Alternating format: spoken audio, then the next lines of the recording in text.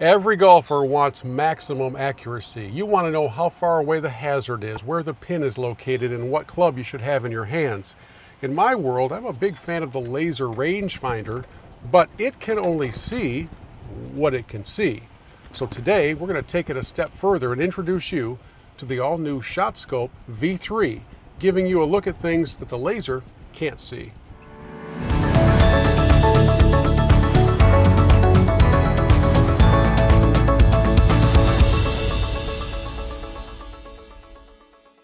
Every golfer wants an exact number. Even if our handicap is a little too high to hit that exact number, you don't want to be caught off guard by a hazard that you thought you were going to carry and it turns out to be a little further.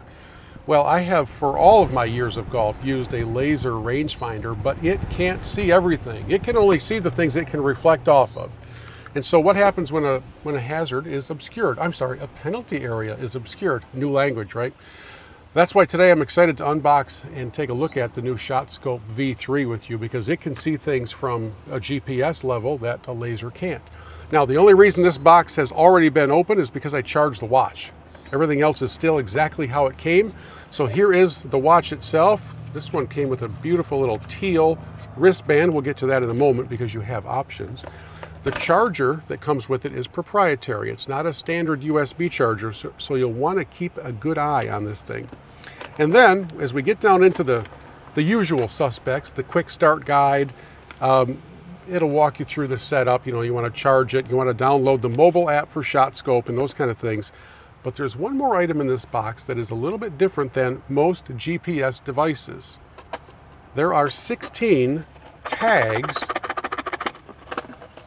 that go in the end of your golf club. Why would that be? Because the ShotScope V3 does more than just give you distances.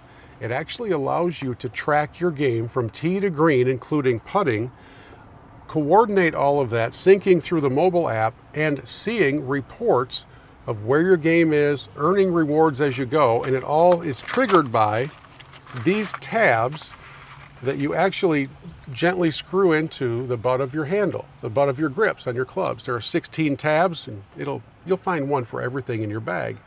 And here's the cool part. The operating process, the rhythm of how all this works does not interrupt your game. I remember a few years ago a similar concept came out. I won't name the product. I actually don't think it's still around. And between every shot, you would have to touch the tag to a transmitter on your belt. And so you actually had to completely alter your pre-shot routine.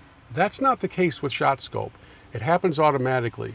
You put these in your club and the game is underway. You don't have to do anything else. You'll use the watch for your distances, you'll use the tags to track your game, and at the end, you'll do all the downloading, the coordinating, and then you'll be able to see the strengths and weaknesses of your game. So uh, let's get this thing on the wrist and we'll take a look at all of its capabilities here as we get ready to tee off on number one at the Sawmill Golf Club in Freeland, Michigan.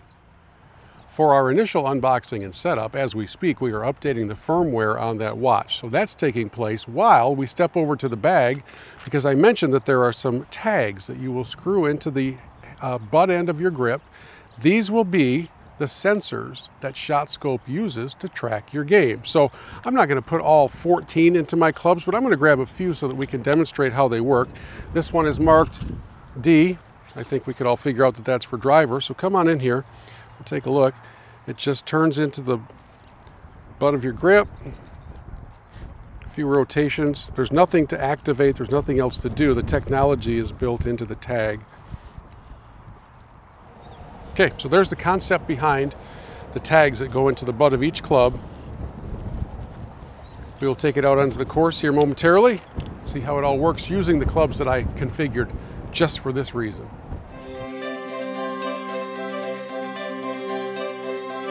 Okay, we've got it out of the box. We've charged it. We've connected it to the mobile app that we downloaded. We've updated the firmware. You only have to do all that once. And the Sawmill Golf Club instantly appeared. As I said, there were 35,000 something courses already in the database. So now I stand here on the first tee where there are some hazards that the laser would never be able to see. So let me walk you through the data that's on this watch. Okay, right now I'm on the back tees. This first hole is 386 yards, 370 to the front, 402 to the back. But when I come up here and I hit this, it shows me that there's a hazard right directly next to me at 19 yards away, but to carry it entirely, if I flared one way off to the right, I'd have 238. On the left, the thing the laser could never see is the other, it's a penalty area slash waste area. At 234 it starts, at 264 it ends. So now this gives you some really good aiming information for your tee shot. You know you don't want to go left because you're going to end up in that area. So I'm going to try and put one out to the right side. We are downwind today, so this is, this is in my favor, right? Let's try it. I have the tab already in, the handle of the driver. ShotScope is already going to record everything that happens from here on.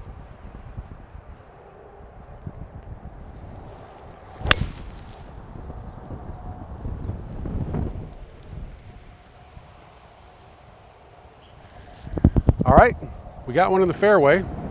Now let's go grab another club with a different tag in it and see how ShotScope marks our progress.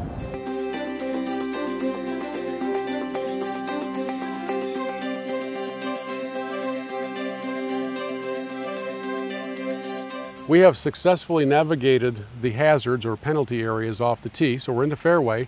And I like to do a comparison because as I mentioned earlier, I'm a really big fan of the laser rangefinder, but it can't see everything, including the hazards that are on this hole. I've got 159 to the flag according to that. According to this, I'm going 154 to the middle. And the only difference with the GPS system is that it does general. It goes front, middle, back on each hole. And again, if we want to come in and see where the hazards are, where trouble is, we hit the top right button and we can see that there's a bunker on the left that is 130 on the front and it's a big bunker. It goes all the way to 158 so from the angle where I am that bunker really shouldn't be a factor but if if you were on the left side of this fairway it definitely would be and this watch this ShotScope would help give you a feel for where you need to hit it. So I'm going to hit an 8 iron I am downwind big time so it's actually a little too much club but because I already have the tag in it we'll we'll see how it works out all right It has become very windy out here in the last few minutes.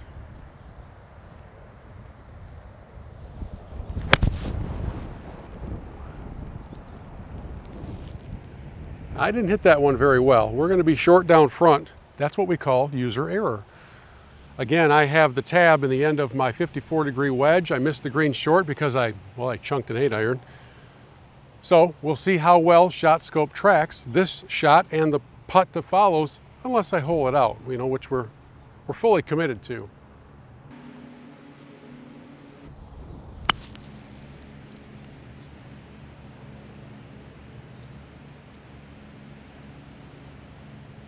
All right, not too bad. Away we go.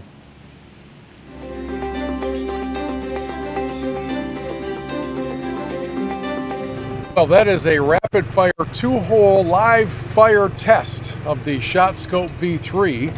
And having gone from unboxing to firmware update to connecting to the app, and then even uploading what we would define as a round, even though it was only two holes, uh, everything performed exactly as advertised. Now, you need to know, you can just use this as a watch and a GPS device. You don't have to do the tracking, and this will still be useful to you throughout your round. But if you're a, a, golfer like a lot of us who are, you know, we're just a little bit off, if you know what I mean, we like all the stats. We want to know every distance. We want to know every yardage. We, we do want to know where our game most needs improvement. And that is what the V3 can help point out.